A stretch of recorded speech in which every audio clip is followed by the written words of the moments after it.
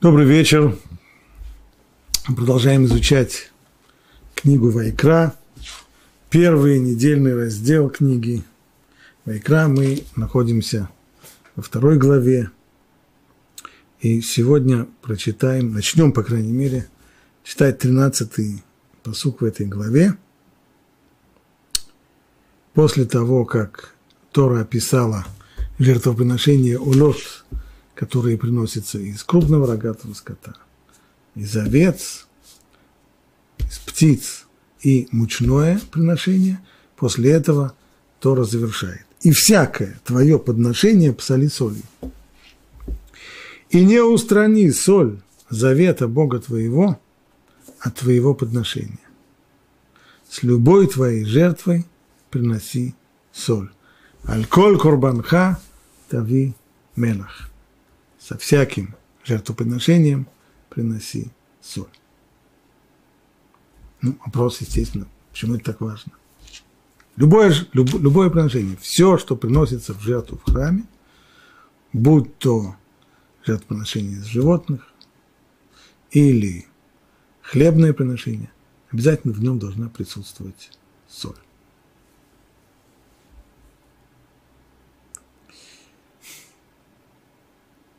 Одно из возможных объяснений – в жертвоприношении участвуют все абсолютно части творения. Творение можно разделить на минералы, растения, животных, человека. Человек, он управляет всем э, процессом принесения жертв, он приносит и животное, вместе с ним и растительную часть, то есть мучное приношение и вино. Ну, чего не хватает? Не хватает минералов. В качестве минералов выступает соль. Хорошее объяснение. Почему именно соль?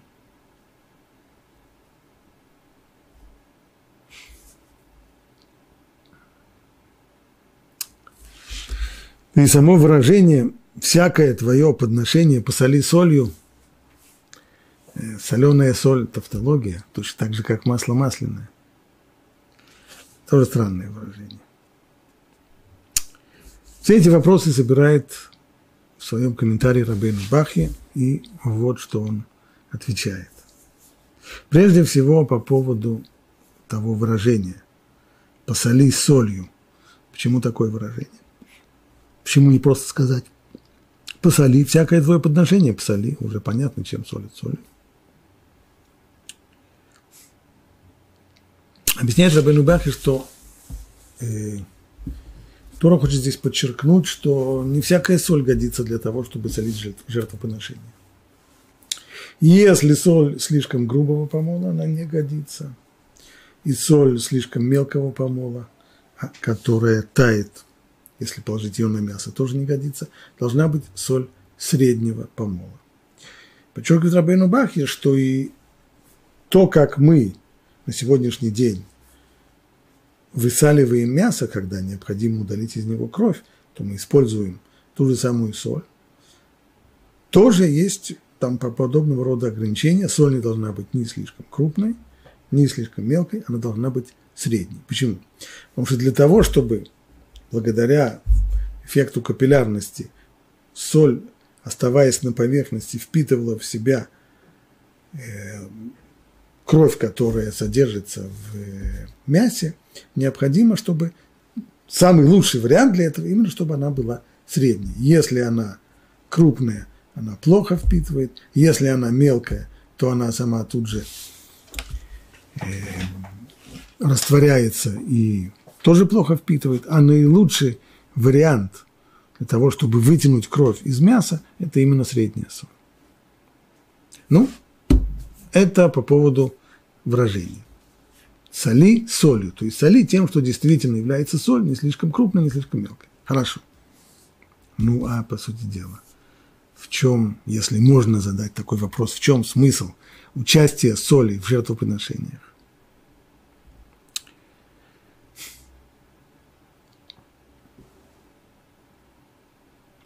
Объяснение первое, которое дает Рабину Бахья, то, что называет Арльдерых Апшат – простое значение, смысла этой заповеди, чтобы наше жертвоприношение было, чтобы в том, как мы приносим жертвоприношение Всевышнему, чтобы в этом выражалось минимальное уважение. Есть у пророка известная такая фраза по поводу людей, которые приносят в жертву увечных животных. Акривеуна лепехатеха. Попробуй, если тебе нужно дать взятку какому-нибудь чиновнику, паше какому-нибудь, попробуй поднести ему взятку вот такого вот увечного барана, который будет хромать, или у которого будет бельмо на глазу, или у которого еще что-нибудь будет. Он примет эту взятку и удовлетворит твою просьбу, или он разозлится на тебя. Стало быть, в этих словах пророка есть некоторый принцип. То или та форма, в которой ты постыдишься сделать подарок, подношение какому-нибудь чиновнику для того, чтобы он удовлетворил твою просьбу, если в такой форме ты устыдишься дать ему, то и в такой форме не приноси это в жертву. И то же самое здесь. Если человеку, если придет к вам чиновник, и вы захотите его угостить, угостить так хорошо, чтобы он удовлетворил вашу просьбу, вы дадите ему пресное несоленое мясо? Нет. Уж такова наша культура гастрономическая, что без соли как-то наш стол не существует. И мясо должно быть посолено. Пусть в меру, но посолено. Поэтому, если мы на стол для того, чтобы угостить уважаемого человека, не поставим пресное и несоленое мясо, то уж тем более, возлагая мясное жертвоприношение на жертвенник Богу, негоже положить его без мяса. Это Дерехапшат. Простое значение. Продолжает Рабейну Бахи приводит еще второе объяснение.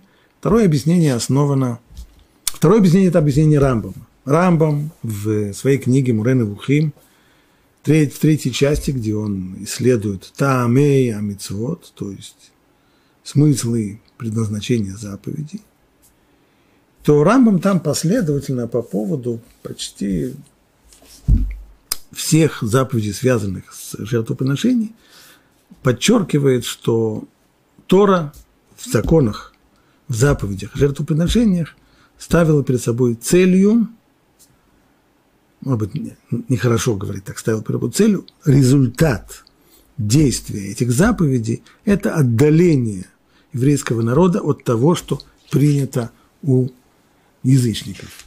Еще раз хочу подчеркнуть, почему я не стал пользоваться этими словами, что цель этой заповеди. Цель заповеди, то есть вопрос, для чего Всевышний дал эту заповедь, она непостижима и неизведанна, и глупо задавать такой вопрос. Для чего Бог дал такую заповедь? Если кто и задает такой вопрос, ответ на него будет «не знаю». Для чего? Не знаю. Его замыслы для нас непостижимы. Мы можем только говорить после того, как заповедь дана – а заповедь эта пришла в мир по воле Всевышнего, воля его привела эту заповедь. Теперь, после того, как заповедь дана, я могу посмотреть с другой стороны, со стороны мудрости Всевышнего, то есть посмотреть, каким образом эта данная заповедь влияет, какие могут быть возможные влияния этой заповеди на человека, ее исполняющего, на общество, в котором она исполняется. На человека, изучающего эту заповедь, даже не исполняющего. Вот это, собственно говоря, и мы исследуем, объясняя таамей амитсвот, смысл и предназначение, смысл заповеди. Так вот, смысл многих заповедей, связанных с жертвоприношениями, Рамбам видит в том, что они отдаляют человека от того, что принято у язычников. Известно, что у язычников кровавые жертвоприношения – это э, неотъемлемая часть их культа, без этого – невозможно. И поэтому, пишет Рамбам, у древних язычников, которые жили в мире в то время, когда была дана Тора, это была вещь очень принятая. Ни в коем случае не допускать никакой соли к жертвоприношению. Ни само, ни, ни само по себе участие соли, которое считалось э, постыдным, ни уж тем более попытка обработать мясо при помощи соли, а как обрабатывается мясо при помощи соли? а мы уже об этом говорили, соль выводит, высасывает кровь из мяса. Таким образом, мясо будет обескровленное. Такое мясо, чтобы язычник положил на алтарь своего божества, да ни в коем случае наоборот. Языческие божества всегда требовали кровавых жертв. Чем больше крови, тем оно лучше. Чем краснее цвет, чем замечательнее. Поэтому кровь у язычников в их культах, в их жертвоприношениях была недопустима. Именно поэтому Тора говорит здесь, а вот у вас все должно быть наоборот. Всякое твое подношение посоли солью. И не устрани соль завета Бога твоего от твоего подношения. И с любой твоей жертвой подноси соль. Это объяснение Рамбама. Есть, естественно, авторы, которые уже пос... не входя даже в вопрос, каким образом это объяснение показывает на отдаление от принятого у язычников, но и с точки зрения методологической они никогда не примут подобного рода объяснения. Искать смысл заповедей в том, чтобы только сделать наоборот, не так, как это принято у язычников, они не станут. Но есть здесь еще один, пожалуй, момент, на который, еще один вопрос небольшой, на который объяснение Рамбама не отвечает. Названа здесь соль, соль завета Бога. Брит Мелах. Союз.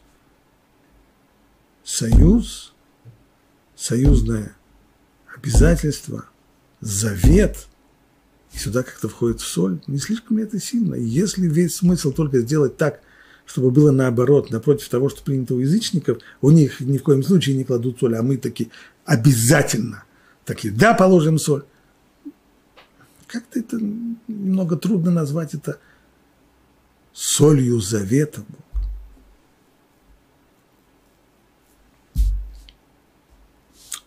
Быть может, поэтому Рабейну Бахи приводит еще одно, третье объяснение. Он нашел его в Мидраше, но он тут же оговаривает, что Мидраш этот говорит не в обычно принятом стиле, что называется драж, здесь несколько глубже. Альдерех, альдерех акабала. То есть здесь есть э, некоторые возможность в щелочку посмотреть на некоторый и каббалистический аспект этого вопроса. Может быть, я зачитаю это в оригинале. Брит крута лемелах мишешит емей берешит. То есть то, тот вопрос, который я задал, брит крута, заключен союз. Союз с кем? союз по поводу соли. То, что названо соль завета Бога, потому что действительно с солью и по поводу соли был заключен союз, было дано союзные обязательства. И это произошло еще с шести дней творения. Шиувтыху маим атахтоним лейкарев бемелах венецух амаем быхак. Когда же был заключен такой союз? когда низшим водам было обещано, они получили обязательство, что они попадут на жертвенник в храме, на алтарь храма в виде соли, соль, как известно, добывают из воды, а, а также они попадут на жертвенник при возлиянии воды в праздник Суккот. Так, соль ежедневно – в каждом жертвоприношении, и вода в чистом виде уже, не сухомаем в праздник Суккот. Все это замечательно, но совершенно непонятно, что такое низшие воды и чем они отличаются, очевидно, от высших. Если есть низшие, то, наверное, есть и высшие. И почему этим высшим водам нужно было что-то обещать? Что значит за обещание вообще материальной какой-то субстанции, с какой пор с каких пор вообще обещают что-то материи?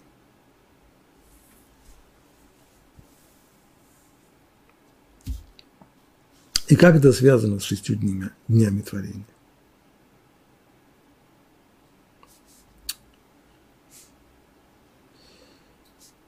Хенам Руби Мидраш.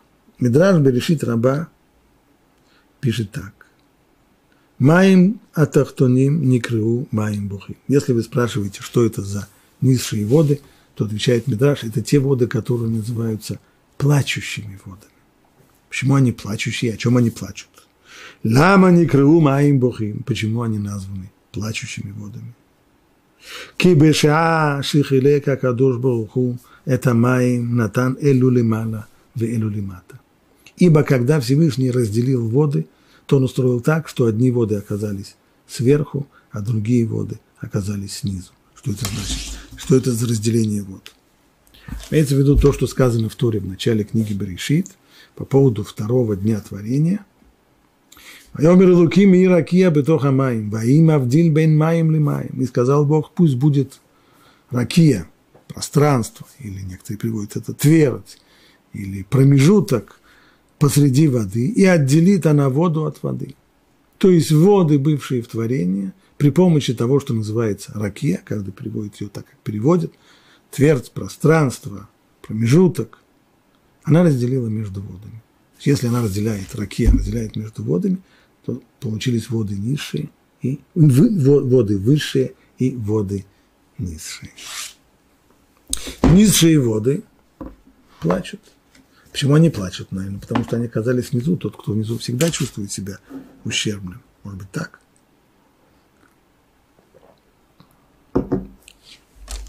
Продолжает Мидраш. Итхилу маим атахтоним бухим. Стали низшие воды плакать. Ама раби Аба. Бивхи нит паршу амаим атахтоним мина илюним. И так сказал Раби Аба, в слезах и в плаче отделились низшие воды от высших. Амру, ой лану, шило захину, лаалот, лимала, льет кровим, льет рейн. Сказали низшие воды, горе нам, ибо не удостоились мы того, чтобы оказаться выше, чтобы приблизиться к нашему Творцу. Амар лаэм акадош баруху Уиль, велихводи аситем Кольках. Эйн лаэн рушут лимаем ильюним ломар шира ад шейтлу рушут микен. Ответил им Всевышний. Поскольку этот плач и эти жалобы, они исключительно в мою честь. Это не то, что Воды низшие жалуются на то, что они попали в плохое место, недостаточно. А именно их жалоба была на то, что они оказались удаленными от Творца мира. Если так, то эти низшие воды получат поощрение, получат компенсацию. В чем будет компенсация? Во-первых, высшие воды не будут иметь права произносить хвалебную песнь Богу до тех пор, пока они не получат разрешения от низших. Так сказано здесь, как это понять? Совершенно непонятно. ולעוד, אלה שעתידין אתם להיקרב על גבי המזבח במלח וניסוך המים. Мало того, есть еще одна компенсация. Вам обещано свыше этим низшим водам, что они попадут в храм, на жертвенник, в виде воды, в виде э, соли, которая производится из воды, и уже вода в чистом виде во время обряда возлияния воды в праздник Суккот. Вот этот мидраж. Осталось только понять, что здесь сказано. Понятно, что мидраж очень сложный, и для понимания больше, чем он раскрывает, он закрывает. И мы попытаемся понять его на самым-самым простом, примитивном нижнем уровне, настолько, насколько наши минимальные знания и понимание позволяет то, как нам учителя объясняли. Так, в центре этого мидраша здесь вода. Мы знаем, это общая основа понимания, общий принцип, что творение было, было создано следующим образом. В начале – создаются духовные корни творений, а затем уже эти духовные корни по цепочке развития, только которые ведет не снизу вверх от примитивного к развитому, а наоборот, от высшего к низшим. Эти корни спускаются по цепочке, пока не реализуются уже в конкретные материальные объекты. Итак, каждый материальный объект в мире, у него есть его духовный корень, а он только материальное воплощение, можно сказать, материальная оболочка, можно сказать, материальное воплощение того самого духовного корня. Позволено будет спросить, а каков духовный корень воды? Если вода – это только материальное воплощение чего-то духовного. Далеко ходить не нужно. Всем понятно, что без воды нет жизни. И даже древние греки со времен Фалеса Милецкого понимали, что вода – это основа всей жизни. Все приходит, все рождается из воды, все уходит в воду. Да и сегодня, через тысячи лет после Фалеса, если ученые задают себе вопрос, а возможно ли, не будем говорить, а есть ли жизнь на Марсе, да, а возможно ли жизнь на Марсе или еще где-нибудь, что, чтобы ответить на этот вопрос, ученые прежде всего учат, ищут на Марсе или где бы то ни было воду. Если есть вода или хотя бы следы воды, жизнь возможна. Если нет воды, жизнь невозможна. Итак, духовный корень воды – это жизнь вода жизнетворна. Жизнь не возникает сама по себе. Нет самовозрождения жизни, самозарождения жизни. Жизнь всегда приходит свыше. Жизнь – результат воздействия, животворного воздействия свыше. И вода таким образом, безусловно, в сознании человека, да и в книгах, всегда выступает символом вот этого вот, то, что называется шефа или воздействия свыше на творение. Это прежде всего дождь. Дождь, кстати, называется он на языке Торы Гешем, от слова лид Гешем, то есть реализоваться, воплотиться. Дождь – это то, что приводит, дает жизнь всему тому, что существует, как это объясняет Тора. Мир был создан уже целиком и полностью, все было в нем создано. И вся флора – все растения, все травки, все деревья, все это уже создано, но оно безжизненно. Оно не растет, оно не развивается до тех пор, пока не пошел дождь. Дождь приносит жизнь, дождь – это воздействие, приходящее сверху вниз, дающее жизнь. Кстати, дождь выступает символом воздействия не только физического, но и духовного тоже так э, в Торе, в, э, в, в песне Азину, Тора, мудрость, источающаяся, приходящая от Всевышнего к человеку, она тоже сравнивается с дождем. Как говорит там э, Тора, польется как дождь, учение мое, закаплет как роса, речение мое, как мелкий дождь на зелень и как капли на траву. Мелкий дождь, не ливень, который все прибивает, а мелкий дождь, который возрастает все. Дождь идет сверху вниз, дает жизнь, и тогда все начинает расти развиваться. Так, духовная основа воды – это жизнь, воздействие, приносящее жизнь, жизнетворная сила. Это корень. Если корень у этого корня, так нас, так нас учили, что и у корня, шореш де шореш, и у корня тоже есть корень. Откуда развивается этот корень воды – Безусловно, есть у него корень. Это тоже называется медат ахесед, то есть атрибут любви Всевышнего. Атрибут любви, что означает стремление давать, наделять, наделять жизнью, воздействие, приносящее жизнь, это корень, из которого развивается духовный корень воды, а из духовного корня воды уже реализуется конкретный H2O, вода в материальном мире. Так вода становится основой жизни. Во второй день творения происходит событие трагическое. Разделение воды. Вода разделяется, отныне есть высшие и низшие воды. Что значит высшее и низшее? Мы это видим по жалобе, плач, который слышится от низших вод. Горе нам, что мы оказались удаленными от нашего Творца. То есть высшие воды – это те воды, которые оказались, которые остались связанными со своими корнями, которые связаны с воздействием Всевышнего, они сохраняют связь с ним. Низшие воды, отделившись от высших, потеряли эту связь. И отсюда их плач.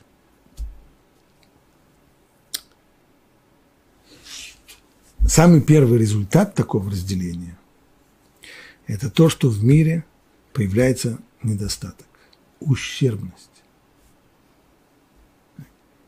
Сам тот факт, что нижние воды отделились от высших и не имеют теперь возможности получать воздействие свыше, порождает ущербность. Каким образом можно восполнить этот ущерб, этот недостаток? Способ один. Только если найдется возможность хоть как-то у низших вод войти в контакт с высшими и получить от них воздействие, которое те высшие воды получают от своих корней, от Всевышнего, только тогда, только тогда будет этот недостаток восполнен. А другой возможности нет. То есть у низших вод, поскольку они отделены от высших и тем самым от источника – от источника жизни, то у них самих нет возможности восполнить недостаток. Единственная возможность восполнить – это только через контакт, через восприятие воздействия от высших вод. Дам вам пример, что это означает.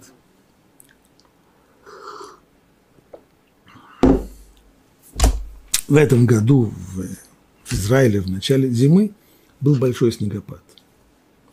Массы мокрого снега выпали, в том числе и на деревья.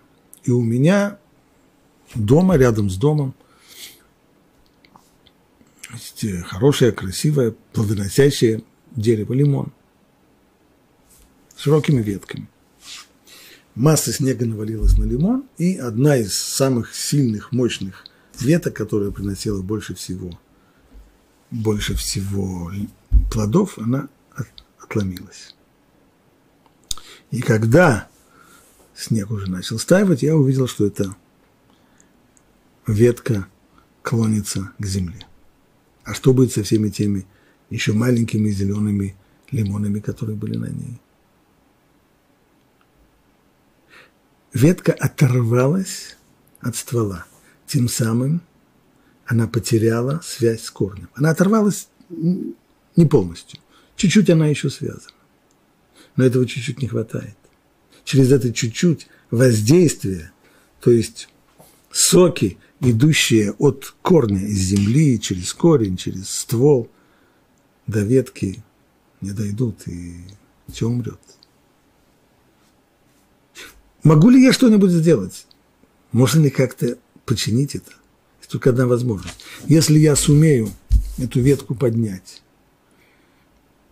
присоединить ее к стволу, привязать ее, забинтовать и попытаться сделать так, чтобы заросло, чтобы эта рана, которая возникла, зарубцевалась, и вновь появился контакт между веткой и между стволом, тогда я спас плоды, которые на этой ветке.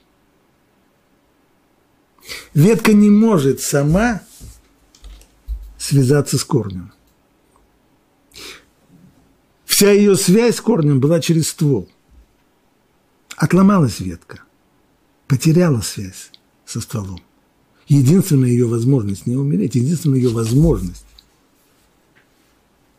приобретения этой животворной силы – это вновь соединиться с корнем, со стволом и получить соки от ствола. Так же и здесь. Получается, что разделение этих вод привело к тому, что в творении существует уже, в мире созданном существует два вида творений. Есть категории, появляется категория машпия, умекабель, то есть воздействующих передающих шефа, передающих воздействие, и принимающих, тех, кто нуждается и способен воспринимать воздействие.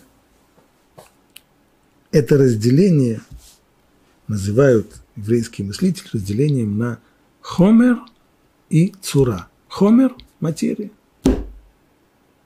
Созвучно слову хамор – осел. То есть материя сама по себе пустая, бессодержательная, бесформенная. Когда я говорю бесформенная, это не значит, что у любой материи есть внешняя форма. Даже чурбан, он имеет внешнюю форму. Форма, о которой мы говорим, это другое, это внутреннее содержание, смысл. Немного, некоторые сравнивают это с категорией греческой философии, с, с платоновским эйдосом, то есть э, имманентный способ бытия каждой вещи, то, называется эйдос, вот это и есть та самая форма, о которой мы здесь говорим.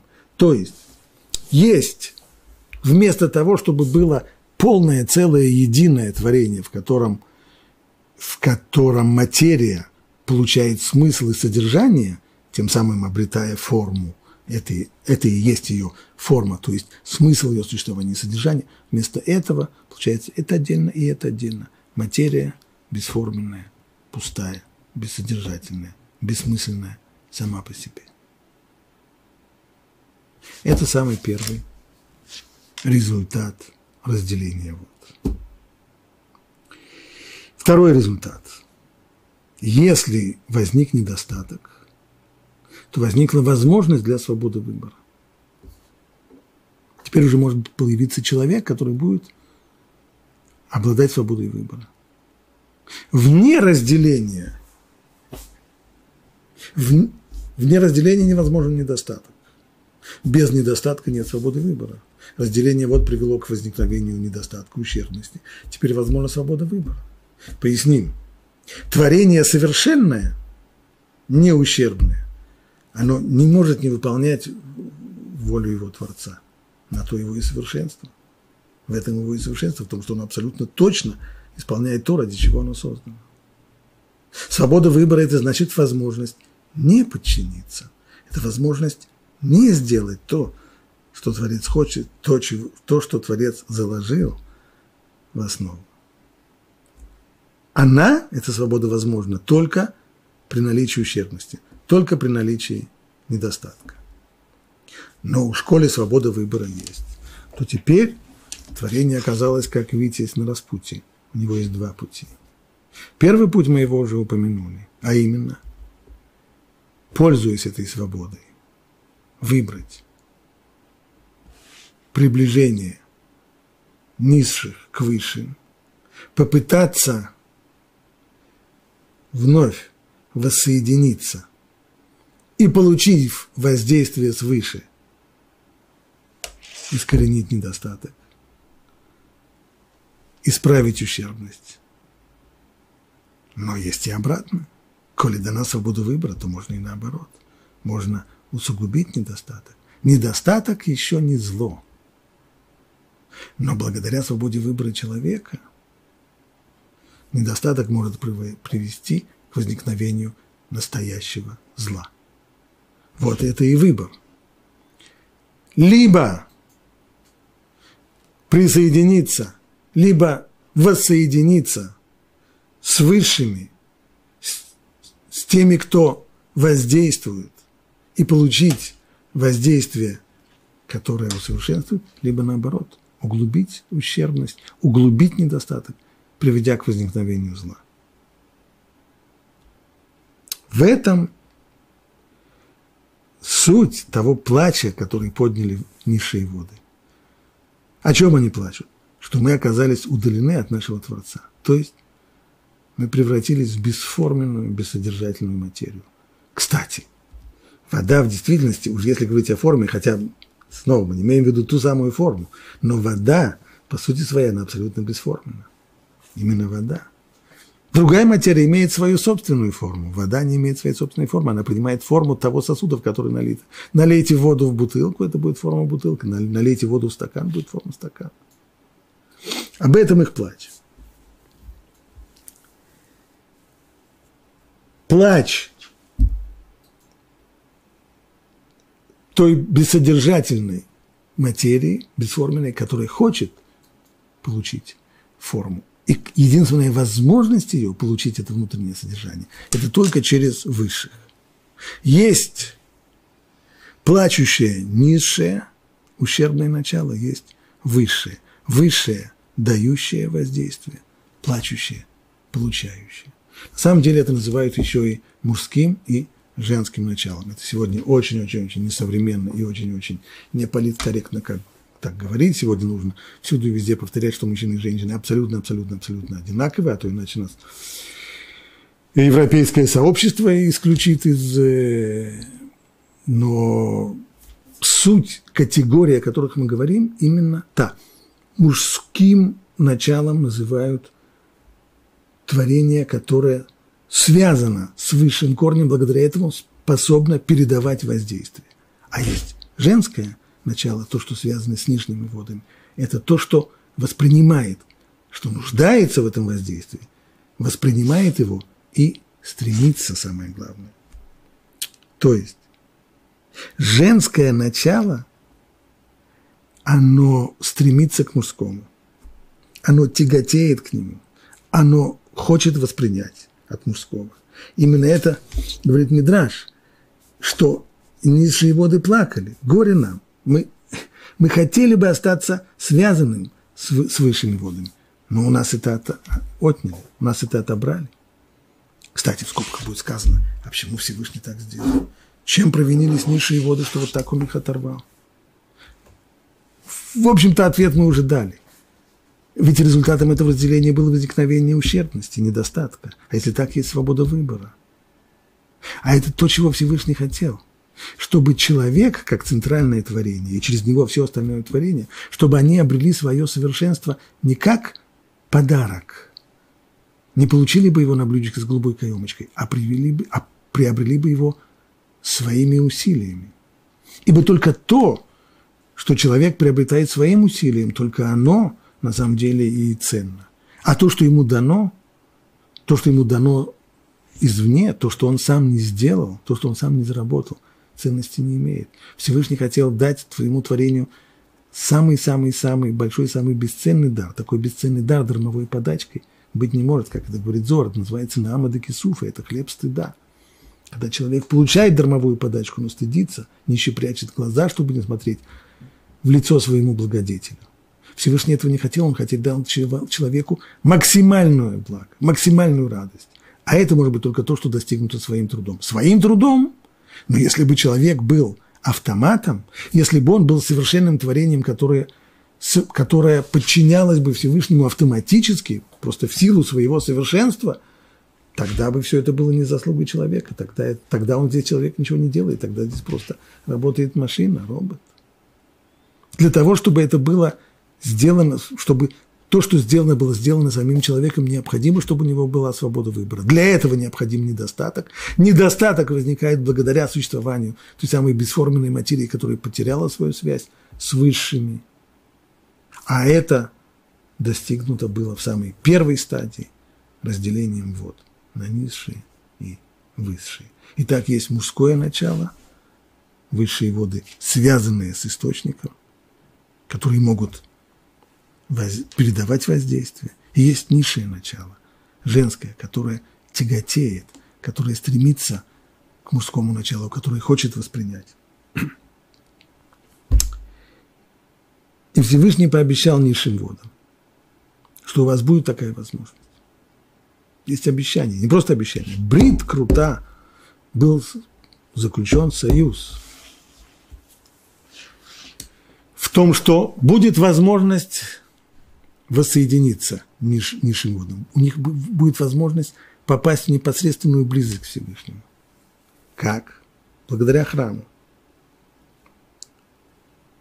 В храме соль попадет на алтарь вместе со всеми жертвоприношениями. Вода будет выливаться на жертвенник в праздник Суккот. И еще высшие воды не смогут произнести хвалебную песню до тех пор, пока не получит разрешения от низших. Обратим внимание, что все это, как говорит, все то, что говорит Мидраш, вот это вот воссоединение, то обещание, которое было дано, воссоединение идет именно через храм. Обязательно через храм. Почему?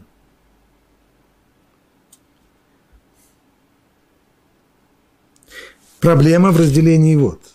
Вот разделились на низшие и высшие. Единственная возможность низшим восполнить теперь свою ущербность – это только получив воздействие от высших. А как к ним присоединиться? Ведь если они были разъединены, значит, есть что-то, что их разъединяет. А как можно через это перешагнуть? Хотел бы вспомнить тот самый пример, который я дал об отломавшейся ветке. Каковы шансы на то, что мне эту ветку удастся снова приживить? Очень небольшие. Очень небольшие. Скорее всего, как в народе говорят, отрезанный ломоть. Что отломалось, то уже назад не пришьешь. Откуда возьмется сила, при помощи которой можно вот преодолеть то самое разделение? И вот эта сила находится в храме. Чем замечательный храм? Написано в, если не ошибаюсь, в Талмуде, да, что один из мудрецов спросил другого, хочешь ли ты, я покажу тебе место, где сливаются небо и земля. Мы привыкли всегда, есть небо, есть земля. Есть небо дающее, с неба идет дождь. Есть земля, которая воспринимает это воздействие. И когда она воспринимает это воздействие, из нее произрастает всякие замечательные вещи. Хочешь, покажу тебе место, где сливается небо и земля? Если бы нас президент сказали, конечно, горизонт, вот там, там, там, там и теряется развитие. Нет, по-настоящему. Он указал ему на место храма. Вот это место. Атраденашки Шмая Вара. Место, в котором сливаются, соединяются земля и небо. Пример тому из естествознания. Есть два вещества, которые не смешиваются. Предположим, вода и масло, жиры. А как быть, если мы хотим сделать что-то, в котором должно, должны быть два этих ингредиента вместе, вода и масло? Мороженое, например. Если мы хотим сделать так, чтобы оно не разделялось после того, как мы их смешаем, не разделялось на две эти фракции. В таком случае добавляют вещество, которое называют эти вещества называют эмульсифайер, оно в состоянии удержать два несоединяющихся элемента. Вода и масло не соединяются. При помощи эмульсифайера можно их удержать вместе. Низшие миры отделились от высших. Произошло разделение на высших тех, которые дают, которые передают воздействие, и на низших, которые хотят его воспринять. Но для того, чтобы было соединение, необходимо что-то, что соединяло бы их, что было бы и там, и сям. Как можно соединять? Может еще один пример грубый. Как, как сделать цепочку, чтобы была одна цепочка? У меня есть несколько колец. Если я беру одно кольцо, продеваю в него второе кольцо, и это второе кольцо продеваю еще и в третье, у меня получается цепочка. Что делает цепочку? среднее кольцо. Оно присутствует и в верхнем, и в нижнем. Оно и там, и там. Благодаря тому, что оно и там, и здесь, оно может соединить два крайних кольца и сделать из них цепочку. Так и храм. С одной стороны, храм был материальным созданием, это было здание определенных размеров, сделано из определенных материалов, находилось в определенном месте. Но с другой стороны, там как говорят наши мудрецы, там были, происходили события, которые с точки зрения материи объяснить очень трудно. Например, одно из, то, что говорят э, наши мудрецы, что, что Арон Лотофес там маком, то есть там стоял ковчег, который имел определенные э, размеры. Но несмотря на эти размеры, место он не занимал. То есть, при, что это означает? Если у вас есть комната в 20 метров. Вы должны поставить туда шкаф размером в 10 метров. то сколько останется, если поставить его посередине, то сколько должно остаться от стенки шкафа до стены комнаты? Ну, 20 минус 10, получается 10, 10 разделим на пополам, получится по 5 метров. Меряем, берем рулетку, меряем, сколько получается от шкафа до стенки, 10 метров, а со второй стороны 10 метров. Но у нас же вся комната 20 метров, и шкаф сам еще 10 метров. Должно быть 5, а получается 10. И номинально да. Это то, что он означает. Он, с одной стороны, имеет свои собственные размеры, но место в пространстве он не занимает. Это уже аспект нематериальный. Или еще то, что говорят наши мудрецы, что когда люди приходили в храм, храм на самом деле был совсем небольшим местом, а в храме во времена, э, когда, когда храм действовал в праздники, в Рогалим, должен был собираться весь народ. Как же можно было туда втиснуться? Ну, как сельди в бочке, так и втискивались уже, наверное. Но, с другой стороны, там нужно было еще и кланяться. Для этого нужно было лечь на пол. Кланялись. Ну, как могут сельди в бочке еще и кланялись? Так говорят наши мудрецы действительно. Омдим, кфуфим, штахавим, ревахим. Когда стоят, стоят в жуткой тесноте. Когда нужно было кланяться, каждому давалось кланяться. А как же пространство? Пространство там изменялось, искривлялось. Объясняйте, как хотите. Но это уже не материальное явление.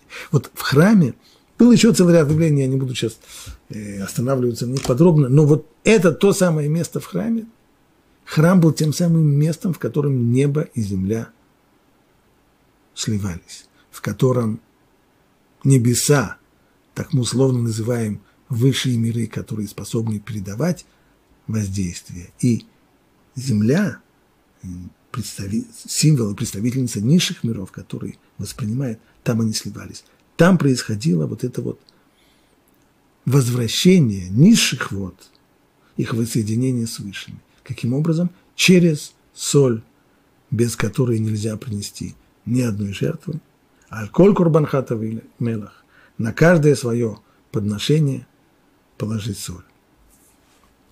И благодаря обряду возлияния воды, который был в праздник Суккот.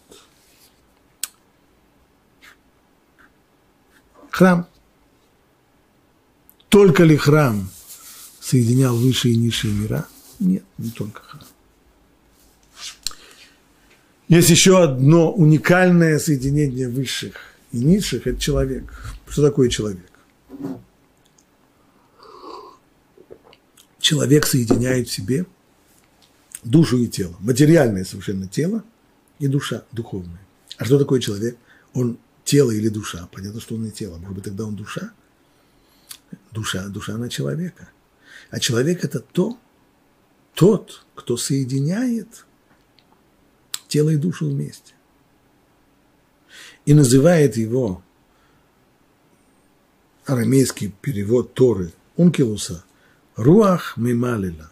То есть человек – это дух говорящий. Что такое речь? Речь – это совершенно уникальное явление, в котором зародившаяся у меня мысль, а мысль абсолютно нематериальна. Совершенно сама по себе не, нематериальна. Но каким-то образом, благодаря этой моей мысли, я могу выразить ее, эту мысль, при помощи материальных органов чувств. Эта вещь сама по себе необъяснима.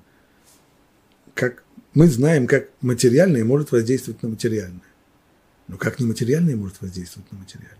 Как моя мысль может заставить мои голосовые связки, которые еще хоть как-то работают, как она может их заставить работать таким образом, чтобы выражать эти мысли, и иногда мысли совсем абстрактные.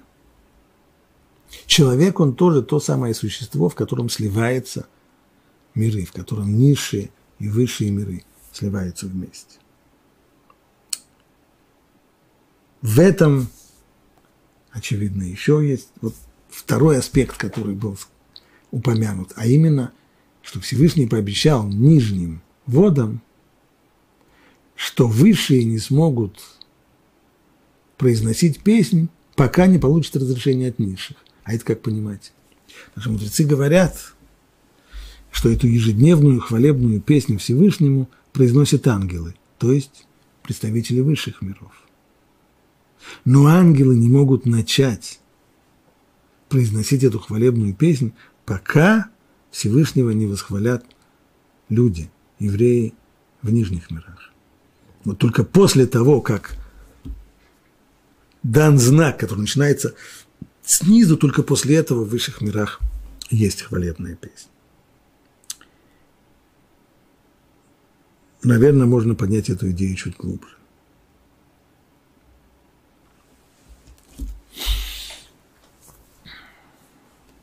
Я когда-то уже напоминал, упоминал,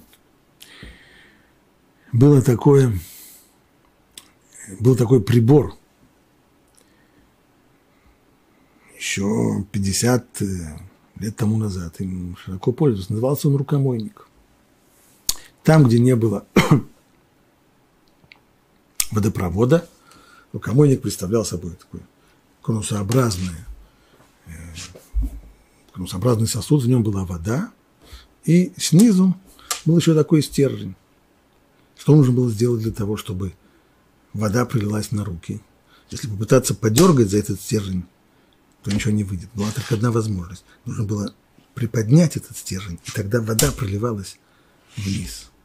Когда есть движение снизу вверх, и только тогда, тогда и только тогда будет ответное движение воды, той самой животворной силы, сверху вниз. В этом смысл того обещания, которое было дано нижним водам. Мир разделился на высшие и низшие. Высшие дарят воздействие от Всевышнего, от корня. Низшие воспринимают. Но высшие не могут дарить, если низшие не прильнут к ним, если низшие – не захотят получить. И только сила, желание и стремление низших получать приводит к тому, что высшие дают. Возьмем два примера к тому. Если мать кормит ребенка, каждая мать знает, что если ребенок сосет вяло, то с производством молока у него будет плохо. Чем более активно, чем более жадно младенец сосет, тем больше молока вырабатывается. Возьмем на другую сторону, духовную.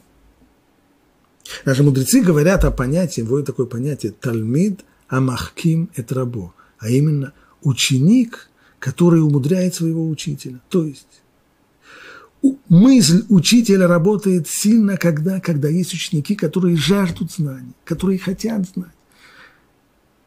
И не только потому, что они задают вопросы – даже если они не зададут вопросы, но само их желание, стремление, которое видно по их глазам, которое видно по их, которое выдает все, весь их язык телодвижений, он заставляет учителя работать. Тогда мозг учителя работает. Тогда он, он создает и новые идеи, и новые мысли, и новые объяснения. Но если ученики сидят вяло, смотрят в потолок, рассматривают свои ногти – ждут, когда уже урок закончится, то и учитель увядает, несмотря на все свои знания. Только желание, только стремление низших получать, оно и приводит к тому, что высшие могут давать. Получается, что корень брахи, вот это вот, само это, вся эта система, и то, что называется браха, или бреха,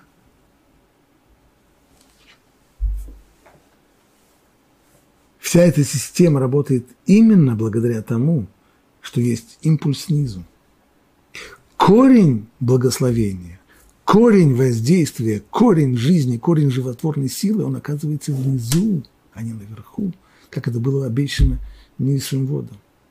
Именно их желание, именно их плач, плач, который выражает нежелание смириться с недостатком, нежелание смириться с ущербностью, плач, который выражает желание – прильнуть, примкнуть, получить воздействие свыше, именно оно, это желание и стремление, оно и приводит к тому, что высшие силы, что высшие миры дают свое воздействие. Благодаря этому существует жизнь и в ее физическом аспекте, и в духовном.